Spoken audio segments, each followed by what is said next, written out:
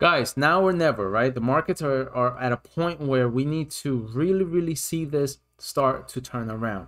Okay, so what we're gonna do here, guys, in this video, we're gonna review the SMH, we're gonna look at the SPY, the Qs, IWM, and the Dow, and we're gonna look for clues to see what levels we need to be on need to be on watch and what levels need to hold in order for us to hold conviction that this is in fact the resumption to the upside. So before we dive into the analysis, guys, thank you so much for tuning in. Really appreciate it. Give this video a thumbs up and don't forget to subscribe to the channel as it'll help this channel grow. So thank you so much in advance. Really appreciate it. And let's dive into the analysis. So you guys already know SMH has been a chart of interest for me because the SMH is a big industry group within tech that is essentially important, right? So the chart here has always been in question.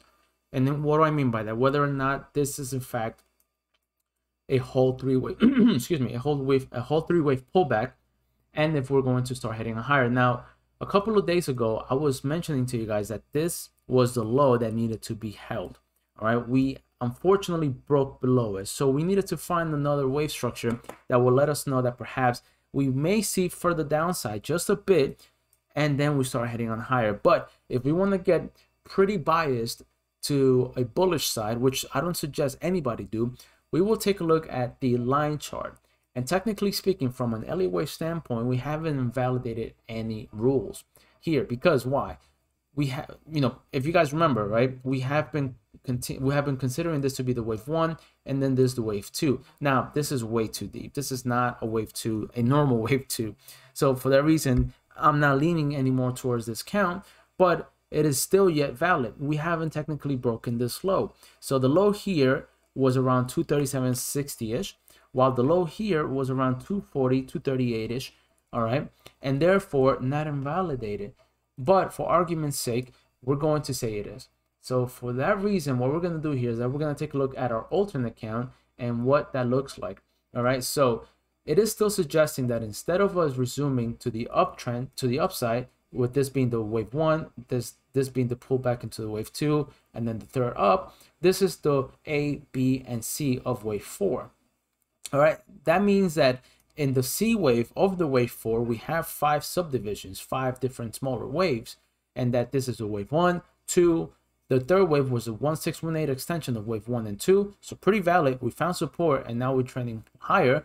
And now we're going to see if we're going to hold resistance at 256 and 237. The ultimate, the ultimate scenario here that will discount this structure for for good and give us hope that that the opportunity to the upside is at play here because this market, to be frank with you, has been really crazy, is the break above this wave one.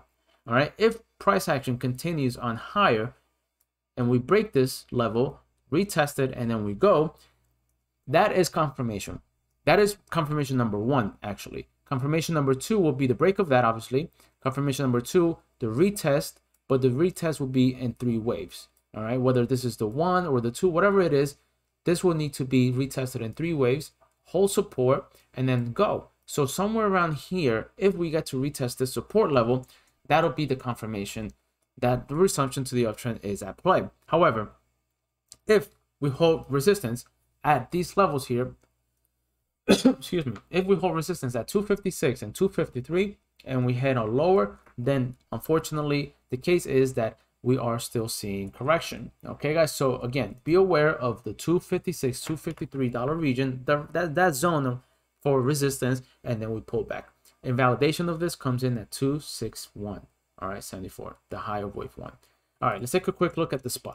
The SPY here is actually letting us know that we may be looking at a possible one-two scenario. So looking at our bullish count, okay, here on the SPY, we have our wave 4 completed back on March the 8th, 1, 2, 3, 4, 5 to the 1, ABC to the to the to the 2 between the 50% and the 618 of this rally from our March 15th low, 438 and 432 respectively. Now, the C wave came in at exactly 100% extension of wave 1, wave A, and wave B. Okay, that's pretty valid. That's pretty good, right? Actually, no, that's not true. Let me do this again for us here. So from A to B to C is the 1618. Okay, my apologies. The 1618. It was an extension of 1618 and now the C wave found support. All right. What it's looking like on the RSI is that we made a low here, right, on April the 12th, and we made a lower low on price action again on April the 18th, while maintaining a higher low on RSI divergence, and we're seeing the MACD um, moving averages in the, in the histogram ticking higher as well. So we have a bit of evidence here that suggests we may be heading higher. All right, we, this may have been the wave two pullback. Now you guys gotta understand something. From an Elliott wave standpoint, a wave two is technically designed to shake out speculative traders. Right, it is technically designed to give deeper pullbacks on the zigzag. Okay, that's why wave twos often see zigzags rather than flat corrections because zigzags are often deeper. Okay, to the point where you start losing conviction of your analysis and then you get out of your trade and then the stock goes up or the index or whatever you're looking at starts heading on higher and then you start getting FOMO. All right, my advice, and this is what I do that helps me, is that I, I hold strong to my positions. All right, even if I'm playing options, I uh, with the mentality if I go in with an options trade, I know that at some point, right, these options are obviously designed to go worthless, right, expire worthless. So for that reason, a lot of the times we hold shares and we can withstand this type of whipsaw and this type of correction. Anyway, that's for that's a conversation for another day. So stay positive, stay objective, and I know you guys are gonna do well. Anyway, so if we fail to hold the support, we're gonna have to take a look at our alternate count, and this is the freaking count that I don't want it to play. All right. So unfortunately, this will suggest that we have way more downside to go. All right. And instead, we have, instead of seeing this as a wave three, all right, in our alternate count, if I may take a look at this again with you, right? This is the wave three, four, and five. We're looking at this as an actual wave one. So everything from COVID up until today, right, from March 2020 low up until January, that was a wave one. I mean, this is a very, very bullish count but in the short term it's painful. All right, so we have an A wave, three wave to the B, which look at this, guys. This came into a precise 618, right? Actually, 786 rather. Okay. So 786, 46407 to the B, and now we're making the wave one, resistance into the wave two, three, four, and five. So what are the levels that we must watch? Here we have to watch if this is the wave one this wave 2 cannot break above the origin of the wave 1, correct? That's Elliott wave. I mean, that's a guideline, right? That invalidates this count. Wave 2s cannot go beyond the territory of wave 1. All right, so likely wave 2 will come into resistance. If we break above this high, if we end up taking it out, then we likely have this in, at hand that the wave 3 is in the making. So at that point, that will be confirmation that this is actually ongoing resumption to the upside. Okay, guys. So again, let's rephrase. Let, let's let's um recap here. So if we hold support at 438, 432, and then break this high at 468.2, then this count is at play. However, if we start breaking resistance, uh, sorry, if we start rejecting around the zone between 452 and 448 and we head on lower, then this is at play. If we keep on pushing on higher and hopefully we break this high here at 462, then this count gets validated and boom, we go to the upside. All right, guys, that's actually what I'm looking for. So over to the Qs. Again, same deal with the Qs. A one two scenario, four, uh, 344, 337 is our support area. All right, wave four completed, one, two. The third wave is on the rise. If if we see that the resistance holds. What is resistance here? I mean, if we see resistance break, my bad.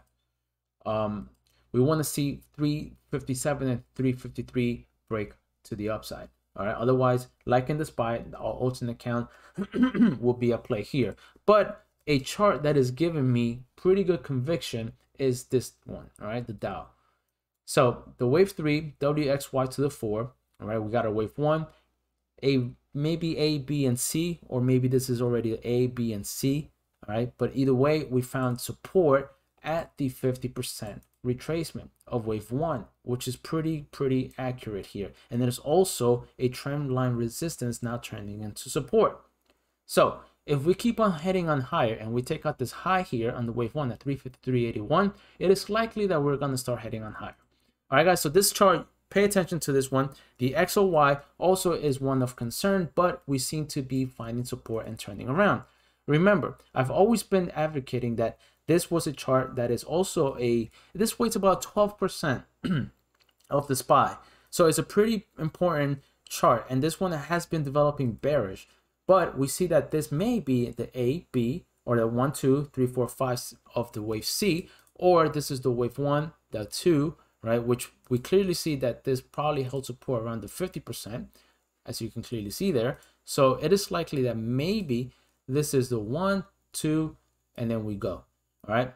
So if we start rejecting the zone and we break lower, then it is likely that we are in store and at play for more downside opportunities. Now, didn't help that Netflix tanked on earnings. That is really giving a really great cloud area and sentiment in the markets, all right? Because I think a lot of that also happened to be with the cancellations of their servers over in Russia, with everything that's going on geopolitically and overseas that can that can weigh negatively on the markets okay guys? So anyway thank you so much for tuning in. I really hope this helped. Let me know if you guys have any questions. Comment down below. Subscribe to the channel. Give this video a thumbs up. Join trending wave see you guys tomorrow.